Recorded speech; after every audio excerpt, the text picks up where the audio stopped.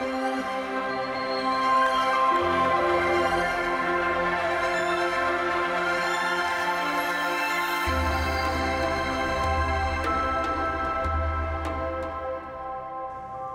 到了山海气象的时间了，明天的天气是如何呢？我们来请教气象主播老外，老外请说。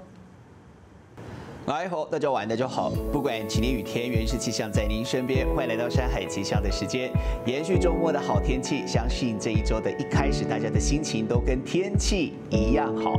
而就今天的好天气来看，各地大都是晴到多云的形态，而且在整个西半部地区，不用说，其实会。有一种让人来到夏天的错觉。那在东半部的话，今天局部地方是有下雨的，主要是落在宜兰跟兰屿。其中兰屿在中午一点到两点这一个小时之间是出现了将近二十毫米的时雨量，但目前都趋缓了下来。而西部天气好。白天想当然的，这温度的部分也跟着上扬，但是低温的部分却还是让人觉得凉了。今天台湾本岛平地地最低温是降到了十五点七度，地点是在苗栗的西湖，而且现在这个时间点温度也随着太阳下山，跟白天是大不相同的，日夜间的温差是明显的显现出来。所以呢，在这里也就要提醒大家适时的添加衣物。至于未来的天气等等，我们就先从卫星云图一起来看。看看了，先前稳定的天气形态，让大家不管是出游或者是从事休闲活动都相当的方方便，而且呢，以这一周的天气来看。未来中南部的天气预估跟今天相比变化是不会太大的，而这图卡上呢可以清楚的看到，在我们附近的云系呢不算多，纵然呢在北方呢是有一道云系，但就观测下来是相当的薄弱。但也不得不说，也因为目前的风向呢还是以东北风为主，所以呢在桃园以北的地方跟宜兰地区云量会比其他地方来得多，降雨的机会也很高。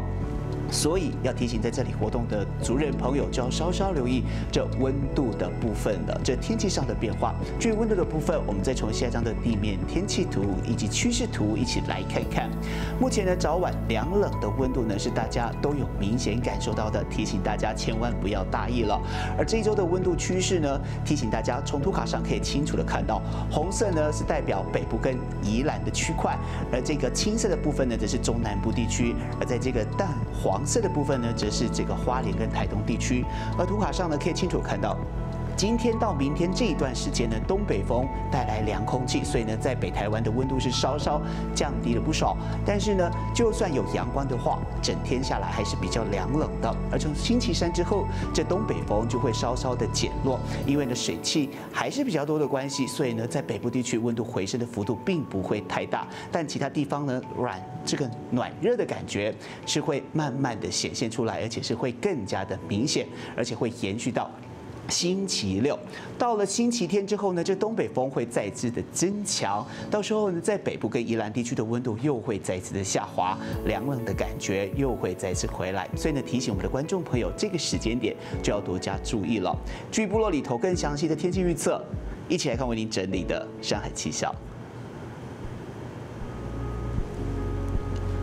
平东的狮子牡丹跟满洲最低温降到十九度，高温是来到了二十八度。太武来一个春日最低温十八度，高温二十九度。三地门雾台跟马家最低温降到十五度，高温二十九度。高雄的原乡地区最低温降到十度，高温是来到了二十八度，日夜间的温差大。嘉义大里山温度数在十到二十八度之间，同样注意日夜间的温差。南投的部分，这原乡地区最低温降到七度，地点是在仁爱二高温二十八度。台中的和平温度数在十到二十七度之间，苗栗的原乡地区最低温降到十五度，高温是来到了二十六度。新竹的原乡最低温降到十一度，地点是在尖石，高温二十六度。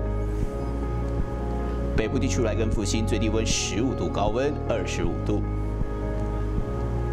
宜兰的大同跟南澳最低温降到十四度，高温是来到二十四度，注意短暂雨势。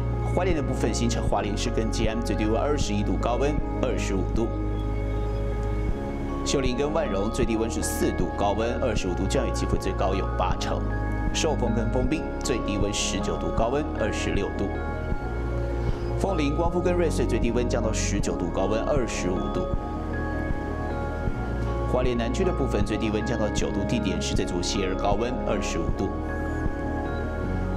台东的海岸线最低温降到二十度，高温二十七度，降雨机会最高有八成。纵谷地区最低温降到十五度，地点是在海端而高温二十六度。鹿野台东市跟卑南最低温十八度，高温二十七度。南洋鬼地区最低温降到十七度，地点是在金峰而高温二十七度。亚美岛主人的蓝雨温度是落在二十二到二十七度之间。外岛的连江、金门跟澎湖最低温十八度，高温是来到了二十四度。外出看天气，让您出门不漏气。天气上，我们分成几个部分来看。星期三之前，在北部还有东半部地区雨量稍多，偶尔呢还是会有零星的雨势发生，但是影响不会太大。而温度的部部分也会凉冷许多。而从星期四开始到星期六这一段期间，这阳光露脸的机会很高，当然白天的温度就会比较暖热。而到了星期天，在迎风面的地区，水汽会在增加，在北部跟整个东半部。地地区降雨的现象，预估又会增添不少下雨的机会。这就是目前以及未来一周的天气分析。祝福大家一切身心平安。感谢老外带来的气象资讯，以上就是今天的原始晚报新闻。如果你有任何的新闻题材，请拨打原始专线。我是主播安，感谢你的收看，祝你平安，再会。